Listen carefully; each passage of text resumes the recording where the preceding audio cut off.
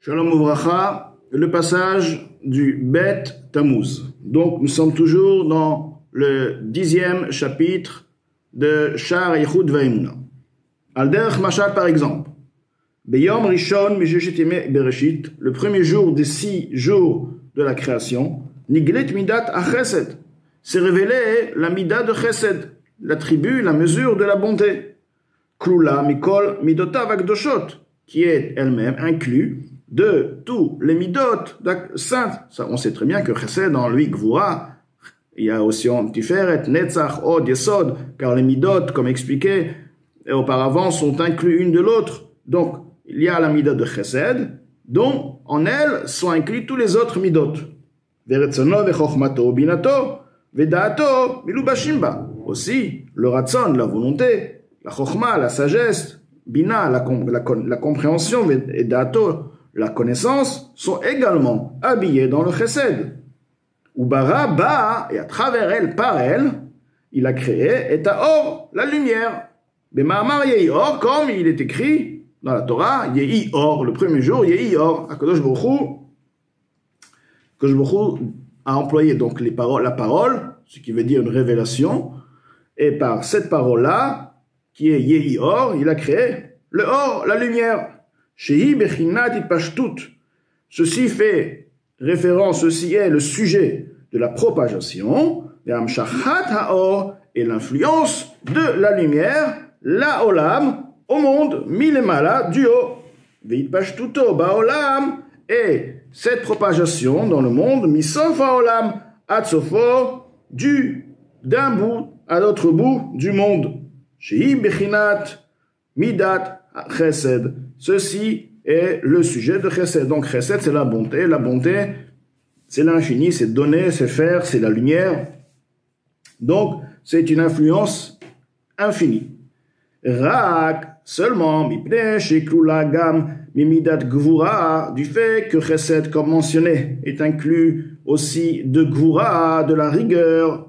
La reine, c'est pourquoi, lo le chesed n'est pas aussi spirituel qu'or chez le mal, comme le or qui est en haut. Donc c'est vrai, c'est le or. Il y a or, j'aime créer la lumière. Mais la lumière du haut des mondes spirituels est bien, bien, bien plus, plus fine, plus puissante, plus euh, concentrée, si on veut, d'une autre qualité, complètement différente. Donc il y a le or. Maintenant, quel or? Comment le or sera? De quel or s'agit-il? Il y a la gvura la Gvura va limiter à ce que le or ne soit pas comme le or du haut. La Gvura, une deuxième chose aussi a, agi, la Gvura a fait à ce que ce, or puisse s'investir dans ce monde-là, chez qui est limité. Donc, aussi bien la qualité est différente, aussi bien la quantité est différente.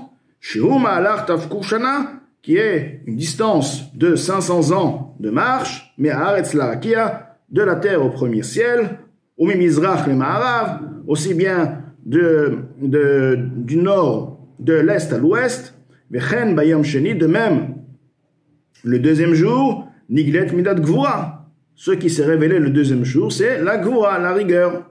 Klula Mishar Midot, comme on a dit auparavant, que chaque mida en elle dit les, autres midot, donc toutes les dix sphères, et la volonté d'Akadosh Baruch ou Baraba, avec elle il a créé Harakia, le ciel.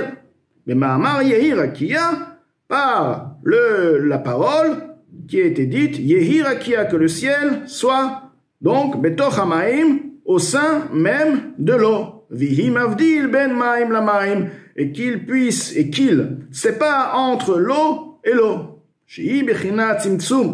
ou gvurot.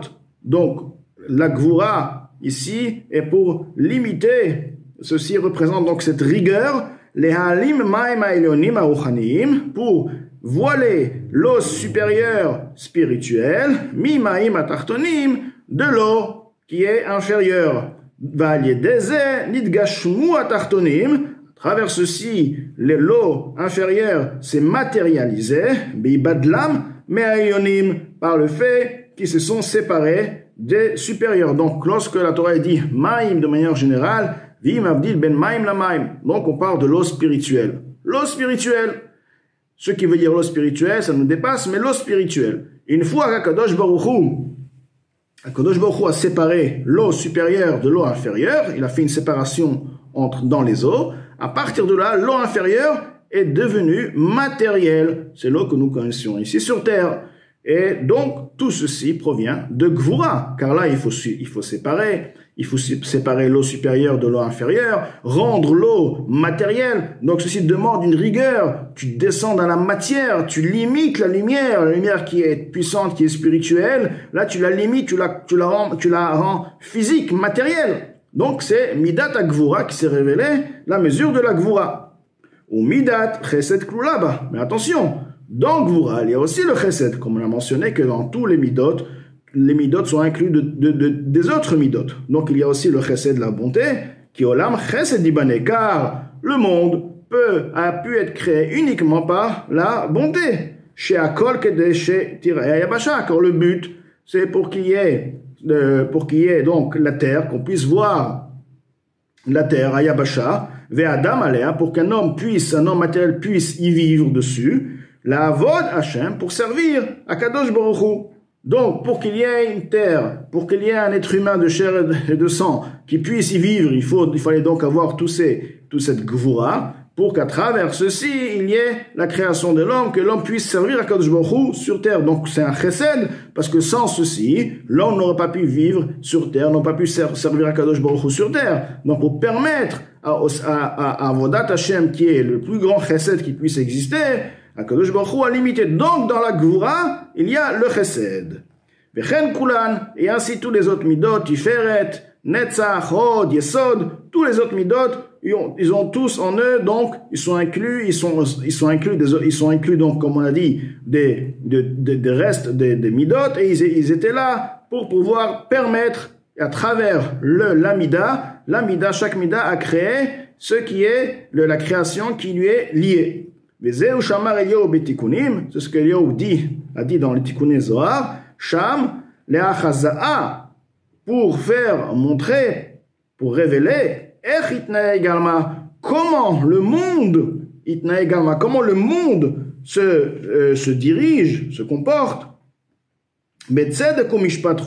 Ceci, le monde a en lui le tzedek, la droiture, ou mishpat, la justice, etc. Tzedek, yudin, Lorsqu'on dit tzedek, tzedek c'est quoi? C'est la justice, c'est la, c'est la loi. Ou mishpat, lorsqu'on dit maintenant mishpat, donc la droiture, c'est la loi. Mishpat, la justice, iyurachme. La justice fait référence ici à la miséricorde. Pourquoi la justice fait référence à la miséricorde?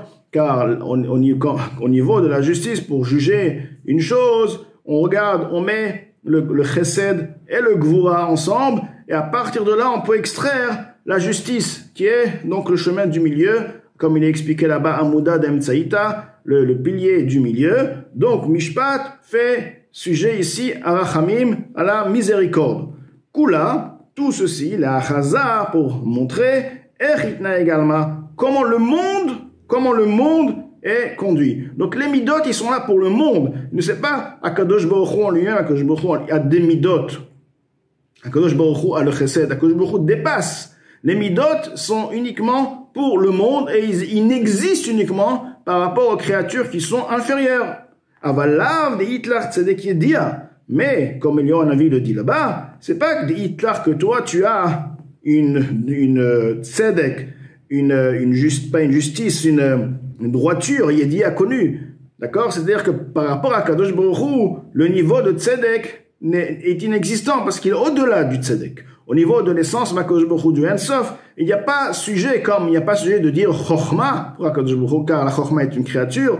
Le tzedek, de la même manière, le tzedek qui est la droiture, que dépasse ces notions-là, dont ces notions existent uniquement pour la créature, la création. Des, d'accord, des Yudin, dont ceci est le din, velo, mishpat et dia, et non pas également mishpat, la justice qui est connue, qui nous est connu, la justice que nous, nous on appelle justice, ou dans les mondes on appelle justice, n'est pas du tout euh, liée, elle n'est pas du tout euh, compatible avec Akadosh dans le sens que je dépasse totalement le sujet de Mishpat, des Iurachme, dont Mishpat c'est quoi? C'est la miséricorde, car Akadosh Baruch Hu, Velav Mikol Inun Midot Klal, n'est pas du tout fait pas du tout partie de ces midot, de chesed, de gvura, de tiferet, de netzach, chokhma, binadat, akadosh baruch donc, est au-delà de tout ceci. Avec cela, le Azaken, donc, euh, termine le dixième perek de Sha'echut Ve'emuna, et donc il nous a bien expliqué